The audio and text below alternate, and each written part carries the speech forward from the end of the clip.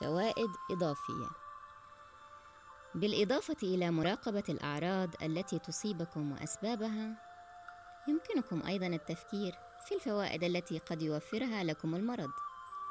يبدو لكم الأمر أقرب إلى الجنون. فلا أحد يريد أن يكون مريضا أو يمكنه الاستفادة من حالته المرضية. مع ذلك فالمرض ليس دائما تجربة سلبية. وقد تشاركون فيه بشكل لا واع أكثر مما تدركون. المرض يمحو كافة المسائل الأخرى ويركز طاقتكم كلها على أنفسكم ويتيح لكم فرصة التخلي عن الأمور التافهة وغير الضرورية فتصبح الحياة ثمينة جدا في نظركم. إذا استطعتم الدخول كليا في هذه الحالة فإن المرض يفتح قلبكم وعيونكم على أولوياتكم الحقيقية أنتم تركزون في أغلب الأحيان على وجه المرض الذي يسمح لكم بالإشفاق على الذات ولكن أي حالة تسبق الأخرى؟ هل المرض هو الذي يشعركم بالعجز وعدم الأهمية؟ أو الشعور بعدم التقدير هو الذي يصيبكم بالمرض؟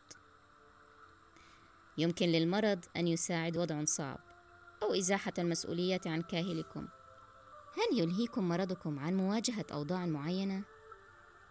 هل يوفر لكم طريقة لتجنب مشاعركم؟ ما هي النشاطات التي تمنع عليكم؟ يمكن لنوبة من الصداع أن تنقذكم من القراءة بصوت عال في الصف أو من زيارة أهل زوجكم زوجتكم ويمكن لساق مكسورة أن تؤجل عرسا أو عطلة في حين أن طفرة جلدية تعفيكم من بعض الحميمية كيف يغير مرضكم أو مشكلتكم ظروفكم؟ هل هناك من فوائد لحالتكم المرضية؟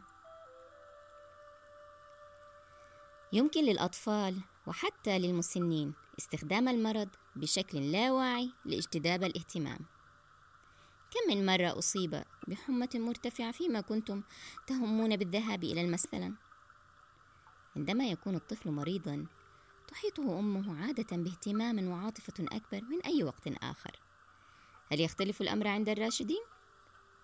هل مرضكم صرخة لا واعية تطالب بالعاطفة والاهتمام والرعاية؟ هل يمكنكم يمكنكم القول للآخرين أنكم بحاجة إلى الاهتمام والرعاية؟ هل تناضلون بمفردكم وتحاولون التغلب على مشاكلكم لوحدكم لكي لا تزعجوا أحدا؟ أم أنكم تنتظرون من الآخرين أن يعرفوا ما تحتاجون إليه من دون أن تقولوا لهم؟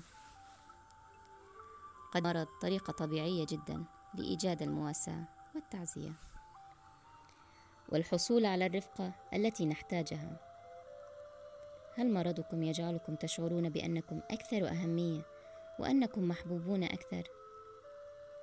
هل سيستمر أصدقاءكم وأفراد عائلتكم بالاهتمام بكم إذا كنتم بصحة جيدة؟ هل تخشون التغيرات التي قد يحدثها شفاءكم في علاقتكم مع الآخرين؟ هل تتشبثون بأحبائكم عن طريق مرضكم؟ أو أنكم تمنعون الآخرين من الاقتراب منكم؟ لمرضكم تأثير عميق أيضا في علاقتكم العائلية إذ تتبدل الأدوار وتنشأ ديناميكية جديدة في الكثير من الأحوال. يمكن أن تؤدي إلى نتائج مفيدة. فالمرض يسمح للزوج باكتشاف الناحية العاطفية منه وإظهارها كما يسمح للمراهقين بالمشاركة والمساهمة أكثر من قبل في الشؤون العائلية. عندما لا تعودون قادرين على القيام بالأمور التي لطالما قمتم بها سواء كان ذلك في البيت أو في العمل يصبح من الضروري أن يتدخل أشخاص آخرون. في حين يتوجب عليكم أن تتعلموا كيف تتخلون عن بعض مسؤولياتكم كيف تشاركون الآخرين ببعضها الآخر. وهذا ليس بالأمر السهل فكثيرا ما ننسحب إلى أعماق ذواتنا وندخل في معركة صامتة بين إرادتين. هل كانت علاقتكم مهددة بالانهيار قبل إصابتكم بالمرض؟ أو في ذلك الوقت بالتحديد؟ هل كنتم خائفين من خسارة شخص ما؟ هل تمارسون ألعاب الشعور بالذنب واللوم؟ هل تشعرون ببعض الرضا عندما يضطر شريككم إلى البقاء في البيت للاهتمام بكم؟ أو هل أن مرضكم قد وفر لكم ولشريككم فرصة لتتقاربوا أكثر ولتتصرفوا بمزيد من الحب كما يمكن أن ينشئ المرض من بعض الذات ومن الخزي كما يمكن أن ينشئ المرض من بغض الذات ومن الخزي هل لديكم مشاعر خزي وخجل محبوسة تتآكلكم؟ هل ارتكبتم شيئا تشعرون أنه سيء جدا أو مخزن؟ هل أخبرتم أحد به؟ أو إنكم تحبسونه داخلكم حيث تعتقدون أن لا أحد يمكنه رؤيته؟ هل تشعرون أن مرضكم هو نوع من العقاب على هذا الفعل السيء؟ هل تشعرون أنه من المستحيل أن تكونوا بصحة جيدة لأنكم قادرون وسيئون ولأن المرض هو كل ما تستحقونه؟ تبدو مواجهة الحياة أحيانا مثيرة للضغط أكثر مما يمكننا احتماله ويمكن للمرض أن يمنحنا مخرجا لائقا وعذرا لعدم اضطرارنا لتلبية مطالب الآخرين إذا كان سبب المرض هو الضغط النفسي فلماذا تجهدون أنفسكم وتضغطون علي هذا الحد؟ هل تحاولون إثبات شيء ما لشخص ما؟ لأهلكم مثلا؟ هل النجاح يستحق العناء؟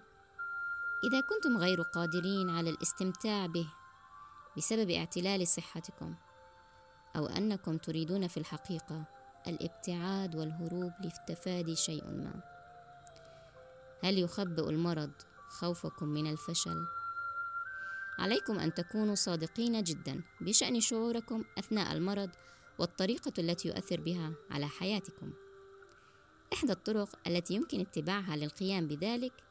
تقضي بأن تتصوروا شخصا يقدم لكم حالا دواء فوريا. ناجعا. يشفيكم تماما ويخلصكم من الأطباء والمشاكل على الفور. فما هو شعوركم حيال هذا الاحتمال؟ أي تأثير سيكون له عليكم وعلى حياتكم وعلى علاقتكم مع الآخرين؟ جسمك. يتكلم.